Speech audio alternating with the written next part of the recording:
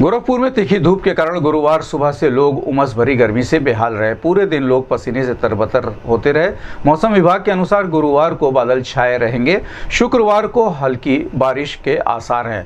बारिश नहीं होने से पिछले कई दिनों से लोग उमस भरी गर्मी से परेशान हैं। चिपचिपाहट वाली गर्मी से लोग पसीने से तरबतर होते रहे। इस संबंध में गोरखपुन्नी से बात करते हुए जिला आपदा विशेषज्ञ गौतम गुप्ता ने कहा।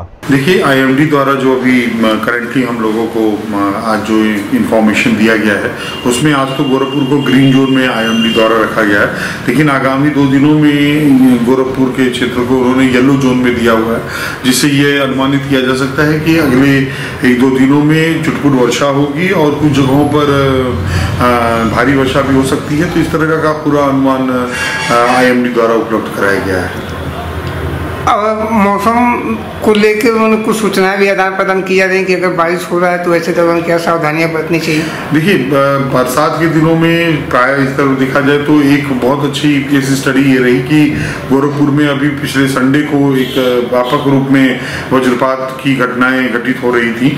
लेकिन मीडिया के सहयोग से आई के सहयोग से और जो हमारे डिफरेंट डिपार्टमेंट्स हैं, उन सबके सहयोग से एक अर्धी वार्निंग जनरेट किया गया था। गोरखपुर में कोई कैजुअलिटी नहीं नहीं हुई।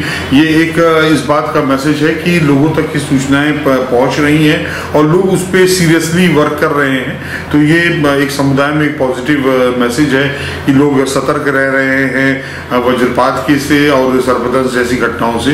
तो इसमें भी अगर कोई इस तरह की सूचनाएँ रहती हैं तो उसमें भी मैं आपके चैनल के माध्यम से यही अपील करूँगा कि जब कभी भी वज्रपात की घटना हो रही हो तो कोशिश करें कि आप किसी पक्के मकान में शरण ले लें यदि आप अगर फोर व्हीलर से मूव कर रहे हो तो आप अपने कार के शीशे बंद करके किसी एक सुरक्षित जगह पे अपनी कार को खड़ा कर सकते हैं।